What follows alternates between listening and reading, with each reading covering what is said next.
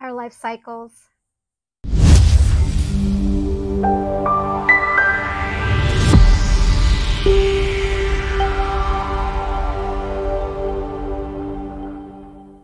Hey guys, how you doing? Hope you're doing well. Wanted to jump on and do a quick video on the loops or the cycles or the karma, whatever you want to call it. Um, and I go away from the term karma basically because there's no punishment. And so when we get into the idea of karma, you know, a lot of people want to say, oh, that's punishment. You're going to get what you deserve and blah, blah, blah, instant karma. And, you know, there's none of that. Um, only here in our version of it. But on the other side, it, it doesn't exist. There's no punishment, there's no judgment, there's no karma. Um, the cycles of the past, of the path, exist, right? So the cycles are the looping, right, back to the original point of perception or conception or whatever you want to term it. Uh, we call it the set point because uh, that's your decision making point rather than the opposite of saying, you know, karma or punishment or what you deserve, right? Because everything is choice right? And so we have choice on everything. From everything that we make a choice is a set point in our timeline, which we live from. Because whatever choice you make is what you're going to, your plant seeded plants or your plant, your seeds that you plant. So, and then from that they evolve, right? Because every time you make a choice, that is your planting of the seed, and you give energy to it. Because every time you choose it, you're adding energy to it, right? Which is the formulation of creation when we add uh, energy to it. So like if you say, okay, you know, I'm choosing this, and then that's your set point, whatever that life situation is, whether it's, you know, relationship, job, or family, or friends, um, you make that choice, right? Which is basically like an agreement, right? When you make that, you're making um, a choice with the universe to help, like a, a signed contract by making choice, basically energetically right? and then the universe then goes and starts bringing forward everything that you're wanting from that point right? So it's an undocumented because it's not physical we're not actually signing it but energetically when we make a choice that's what's happening right? You can kind of relate to that. So from that point um, whatever you make a choice on is what your creating. So I've made this choice. And so from there, the seeds are planted. And so whatever is going to be needed for that to evolve is then going to be put to it, kind of like a plant when you're planting seeds, right? Whether it's a tree or flower or food. Um, and so with that, we can see it from that perspective. You know, what does the, the seed need? It needs sun, earth, it needs rain, you know, um, and with it's a little bit different as far as when we make choices, but that's a like I said, a great way to look at it. So when we make a choice, all these different components need to come for that to evolve. So so if we were continually thinking about the choices that we made, we're adding energy to it. If we start getting into because the more we think about it, our emotions start getting involved because it's a constant reminder, whatever that is, whether we want something or something that we did, you know, or something that we are wanting, you know, we are adding those emotions to it, whether it's the, you know, oh, I shouldn't have done that. And you start getting emotional, you know, because the more you think about it, because your mind creates the emotions, right, as, as it continues to be thought of, right? And you can also relate this to uh, source in all its creation of all things, right? And the more it focused on it, the more it created. So it's a good alignment to kind of look at everything on a different perspective that way, um, on the macro and the micro. But in your life, what you're doing is with the seed, you're actually getting and gathering all the components, and things will come up in your life that will gear you back to that choice that you made. Now, as you're constantly thinking about the choice that you made. Again, whether it's the negative or the positive of it, something I want to create or something I shouldn't have done. it's going to be added to it, right? And so it's the adding on of it. So whatever it is from there, that point that our mind keeps going back to is going to create it, right? And so then uh, the emotions get involved, right? The more we think about it. And then that's the emotion. That's like the engine, the energy of the vibration of emotion is the engine that is taken form in place, right? And so then you have all these other conditions around you that are starting to take place to bring that into your fruition, right? Which is the budding and the flowering of the plant, whether it's the fruit or the flower. And as it keeps evolving, you're adding energy to it, it's going to expand and it's going to be created, right? And so that is creation, basically, kind of in that simulation for reference. So when we get into the topic of like karma as our cycles and our looping and our patterns, it's only because something's unresolved. It has nothing to do with something that isn't resolved because when we're in a flow and alignment with everything, then everything just is. It's just flowing through, right? We don't have any looping back on it, you know, from that point of view, right? It's just a flowing, it's just a following of the path when we're in alignment especially when um, the topic that this dropped in yesterday was when we were talking about our our um, like our divine purpose, our path, and what we should be doing versus what we shouldn't be doing. Um, because right now is a great example of the direction that we're going in or have been going in um, on the macro level. You know, as far as the governments and the rules and regulations and laws and what's going on and a lot of the shifting that's happening now. And so that was the conversation that came that brought this up. And when it dropped in, you know, they were saying it as karma. It's it's our karma that this is happening. However, there's no karma. there's no karma as far as that goes. So it's just a term that we give it, um, and basically, it's it's doesn't really do it justice so as far as karma, it doesn't exist because it doesn't exist on the other side, right? There's no punishment because we're all learning, we're all evolving. And so for source to give punishment to something that it created, that it's learning, you know, is not going to happen. Right? That's only from our perspective.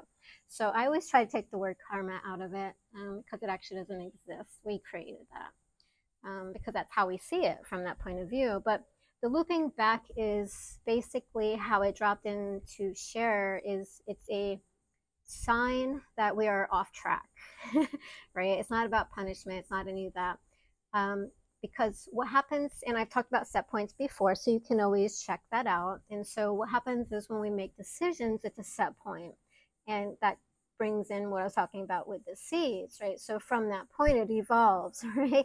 And so then from there it is whatever is going to be right and so at some point somebody had set into place our system of the government and then it led to where we are now right and it's continually evolving you know we're making changes uh, you know as far as signing in new laws regulations things like that to go in a better direction right but that's also why we're seeing a lot of things uh, resurface right? Because we need to take a look at it again.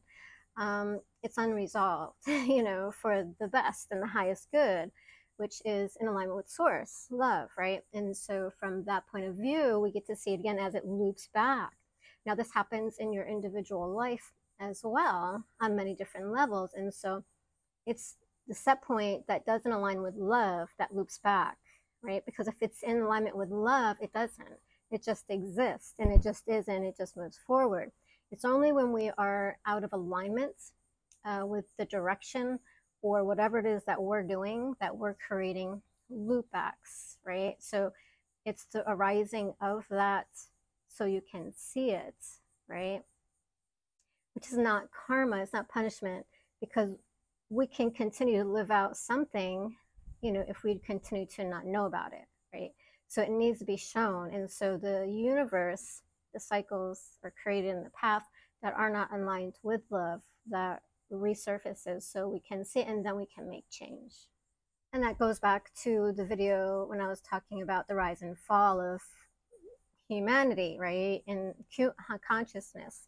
Um, so anytime we are out of alignment uh, with love, that's when we have the looping back, the cycles, which helps us to bring it up, you know, just not just on the macro level, but the micro level, because that's we're looking at what our stuff is and we want to be able to look at it so we can change it and then if we don't change it it gets more and more and more prevalent in our lives and in the macro level until we do do something about it and you can actually see that happening in the macro level which also helps or happens in your micro level world right your individual life situations right and so we want to look at these things that keep circling back because that's what it's there for you. It's kind of like a sifter, if you will.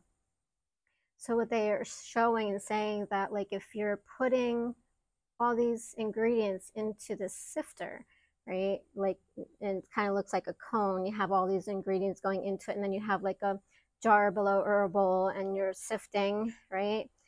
It's going to sift out the stuff that's not in alignment with love and then everything that is is going into the jar right and so as you're putting all these things into it it's sifting right and just to kind of give you an idea of what that is you know as far as the universe working things out and so that is looking at it you know as a the consciousness of how things work behind the scenes on an energetic level as an intelligence right and so it knows what's in alignment with love, right, from what isn't, right? And so that's the timelines, the um, streams of consciousness that I've talked about in other videos, right? And so it knows what is in alignment with source, right? And there that has to go uh, before it can get to source. And but we're all headed in that direction, no matter where you are, which is why there's many paths, you know. And so from that point of view, that's how you can take a look at the looping back, right? It's not because you're being punished, it's so you can take a look at it again and make a different set point choice from that space that you're seeing it from, which can be different levels of awareness, right? And so it can be like a micro level, it could be a macro level.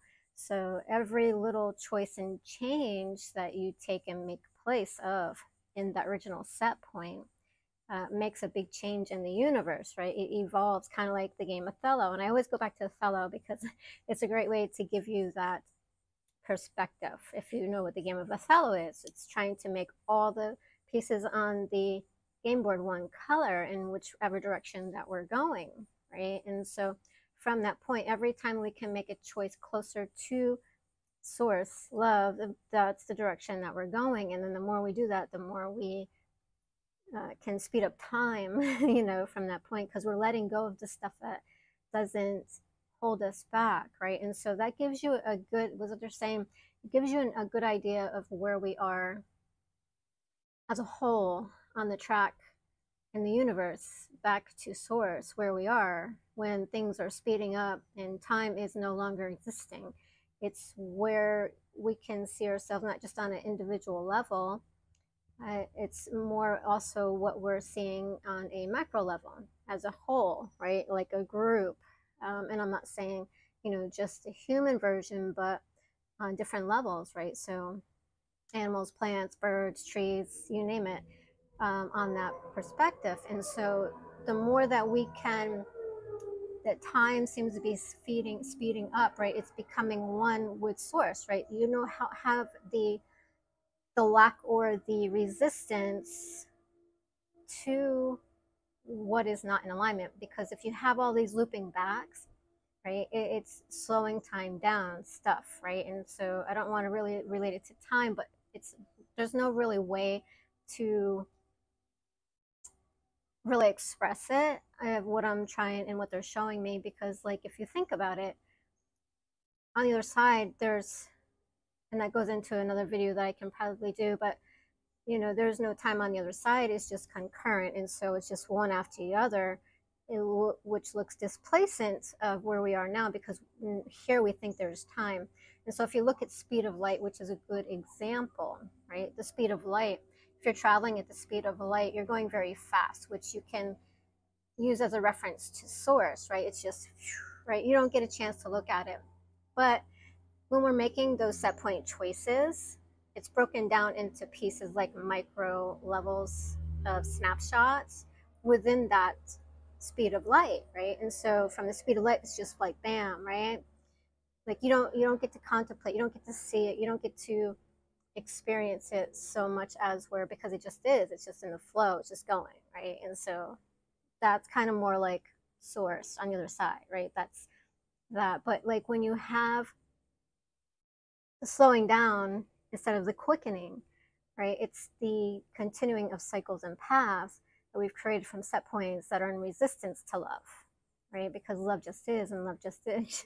it just flows, right? And so when we've taken ourselves separate from it, we're creating these set points that are in resistance to it. And so we can't be one with it if we're separate from it, right? And so it's basically the slowing down of the speed of light into increments to see it from that perspective and that viewpoint, which is to learn from it, right? And to understand it to what hasn't already been worked out for certain parts of the consciousness, no matter what that is. And that's evolving, right? Towards source, which is the light from the darkness, the shadows, right? And so, concurrent with that, it's in flow. The more that we can make those choices towards the lights, right? And so that's the healing, letting go, and the resolving of the issues, and making different points and set points and choices um, more towards the lights, which is love and source, right?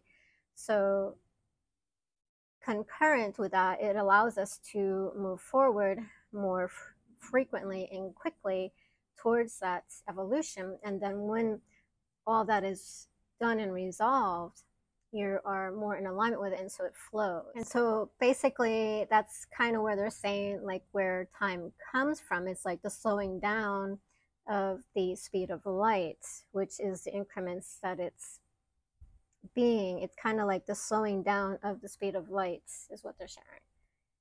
And then so that's where we can see it and make changes to evolve from it uh, through that evolution of what is already existing, right? Everything that has already been created uh, for us to see from it and to learn from it and to evolve from it within ourselves, right? Which is our own creations, right? Which whatever we're taking up and putting down from lifetime to lifetime, working on this, working on that, and mm, you know, playing this part and this role in our lives on the macro and then the, the micro.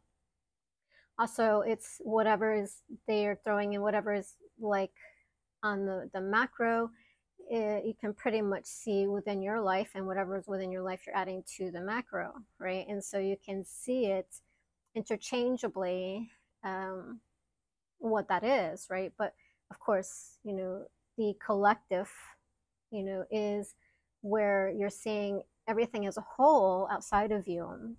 The collective would be, like all of humanity or human race, right? Or the collectiveness is would be like in your individual life you know your environments right so who are you hanging out with what is your tribe you know that's the collective but you have a lot of different levels of awareness going on at the same time but you can use it universally you know i'm adding to this because this is where we are as a whole right? And so what is my put into the evolution of the world? How am i being? How am i showing up in the world?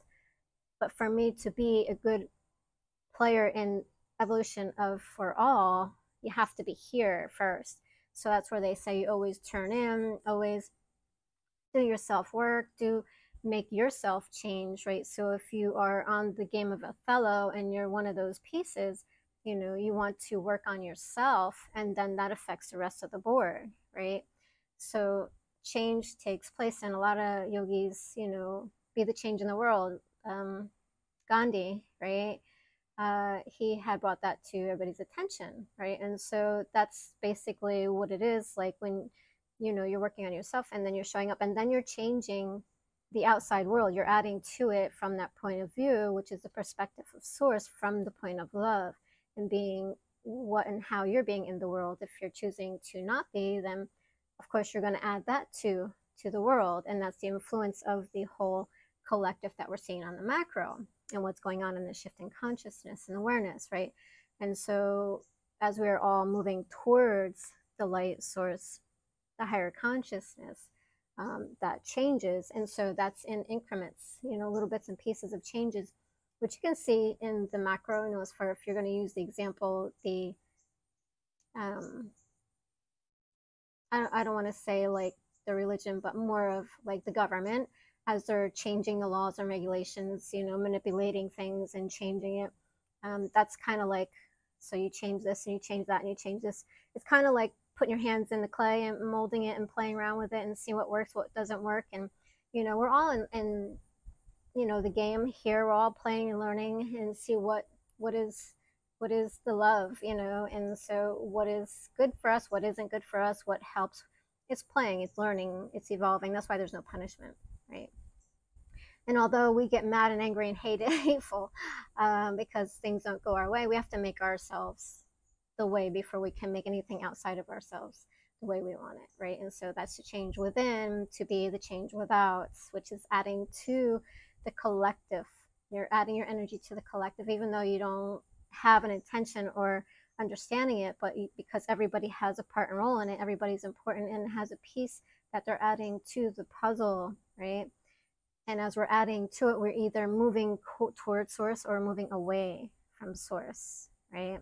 And so everybody part is important to do your own work, to do your own healing, to do your own awareness, right? Turning in, meditating, healthy behaviors, um, working through your stuff of what maybe you've worked, have come in to do and be in alignment with what your soul's wanting to do or what it is that you feel your purpose is, right?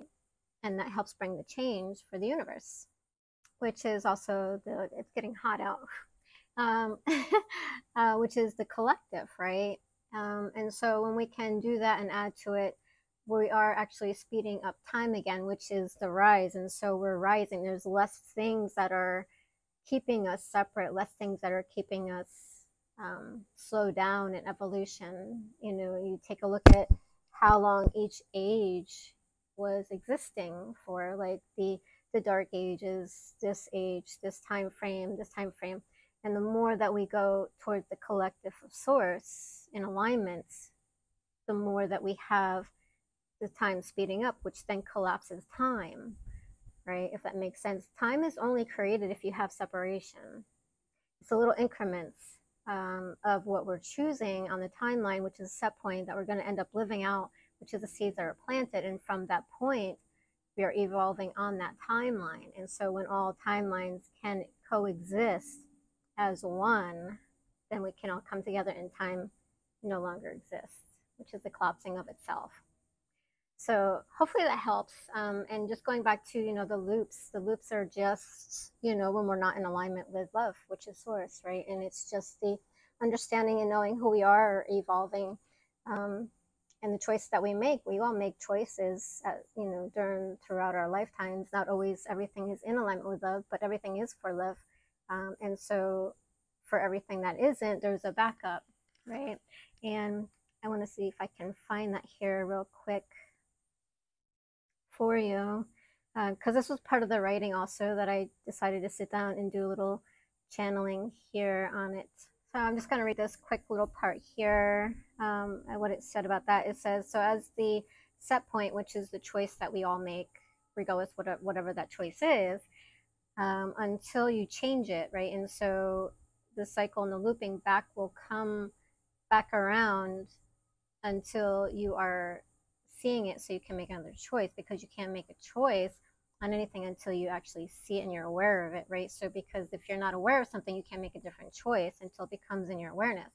And so, as I went through my awakening and stuff like that and healing certain situations, these things came to my awareness of what I was doing without even realizing I was doing it. That's the unconscious and the consciousness. The consciousness is presenting itself to you that's in the unawareness of itself which is creating the loops, right? Because when we have the unconsciousness, um, it has to be um, seen, right? In order for you to make a different choice for whatever choice you make at the set point and you live that out unconsciously, right? Because you, a lot of times we don't even realize, oh, you know, I'm making this choice. And then unconsciously we don't know. And I've had, I, I can use this as an example. You know, I've made a lot of choices in my life with um, without really thinking about it and contemplating it and kind of just making a choice and then end up the in a place that I don't want to be. you know, because I haven't really I'm unconsciously made choices, right?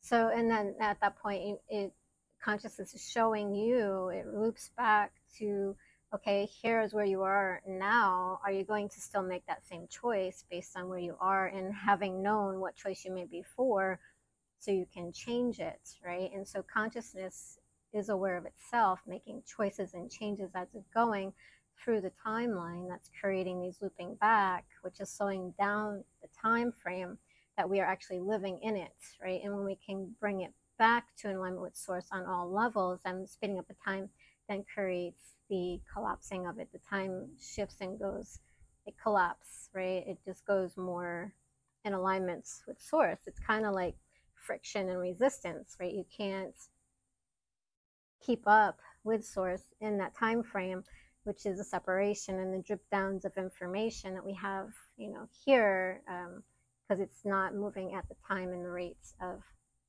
source, right? It's the slowing down of time. So that's why we have time. It's like a lag, right? So it's not really time as we, because of course we're like living, we can experience it like in 3D, but I'm not relating to like time like on the clock, right? Because it's it's just existing in a slower rate of speed than when it would if we were in alignment with source, which is love, right? And so basically that's what I'm referring to as time, not the clock, right? Because that is that's man-made, um, obviously. So you can be to work at time um, and all your appointments, but so it says here it's set in place set point until you change it, right? Which is to make it awareness. So bring the unconscious into the awareness of what it is that's not being in alignment with love, so you can change it so it's in alignment with love, right? Which is a stream of consciousness.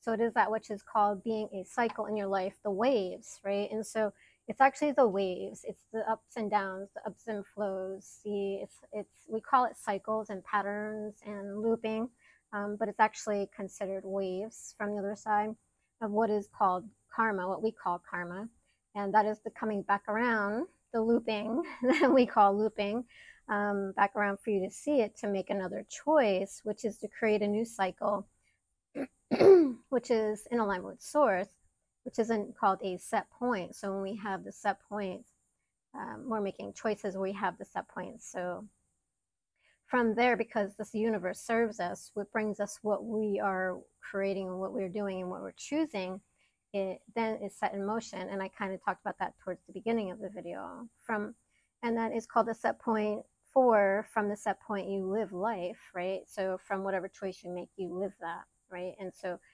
in the unconscious until you become aware of it, which is in a future existence, because for whatever choice you make it, as you live it, you are now in a different place, which is the present moment. From there, now, if when it loops back for you to see it, are you still going to make that same choice that you made before? If yes, then you continue into another loop, which is bigger and bigger and bigger, right? It keeps growing until you choose it, which is more suffering, more suffering, more suffering. But if we choose a no, I choose love from that set point. Now that you see it from what you used to choose, it changes it into the timeline of love, which is more in line with source. And so it just flows, right? And so it's getting rid of all the resistance from ourselves, which is the shadow aspects and the things that we're choosing that aren't in line with love, right? And it's getting rid of all, rid of all those aspects of ourselves, right, on the timeline. So we can be in flow with love right? And back to source. Um, and what it is that you are choosing creates it to that which is formulated in being the love or not of love, the bliss or suffering of it, which is the light of itself, love. For all is for love, even when it isn't being love. The choice that you make is in the name of love, which is the backup plan. So you're either being in love, what it show it goes on to say, that which I intended and that which I didn't intend in creation of it to be, which is the resistance, which is being love, and that which isn't being love is that which is the backup plan. So I'm either being love or I'm not, which is the light or the darkness, the shadows of love. So basically, it's saying that. Um, so the backup plan is you're either it's either in the name of love or it is being love. So those are the only two that it's relating uh, through the channeling uh, that you're either in the name of love, which is the suffering, or it is love itself, because there's the only two that you can be. It's either in the name of love, your suffering is in the name of love, right? So, in the name of love is to, you're not actually being love itself, which is alignment source, but you're in the name of love. So, you're doing it for the purpose of love which is to change it, right? Because everything is for you, nothing is ever against you, right? And so sometimes our suffering comes because of love, right? Sometimes we need that hard love, you know, to make the right choices. And that's the suffering that we're creating because we've made a wrong choice. And I don't want to really say wrong, but, you know, we made a choice that we're going to learn from. So basically, um, that's pretty much the gist of it. So that's the backup plan for being love. If you're not love, then you're in the name of love right? So because all is love. So just how it's it's worded and put here, you know, for this channeling, and that's just a little clip um, in that. But that's basically the loops, you know, the these cycles and the patterns. Um, it's the slowing down of time, creating time that we're existing and we're living in it and living that out, so we can kind of look at it and see it and understand it.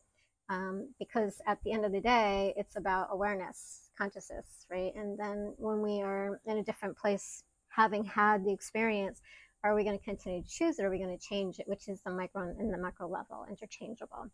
All right, hopefully that helps. Want to drop that in. Um, I was guided to kind of talk about that. I was jotting it down. um, so, all right, if you have any questions, um, definitely reach out. And hopefully you check out the other videos because it all kind of helps. It's all piecing it together and different things. And I do have a Patreon that I'm going to start posting everything on as far as the channel writing, so you can uh, read them if you want or contemplate them. Um, signing up to that uh, Patreon account, which is also going to be linked below. I do one-to-one sessions if you do want to do some self-work and um, a life review, working on transforming your life. And yeah, that's pretty much it. All right, thanks for tuning in. Happy journeys.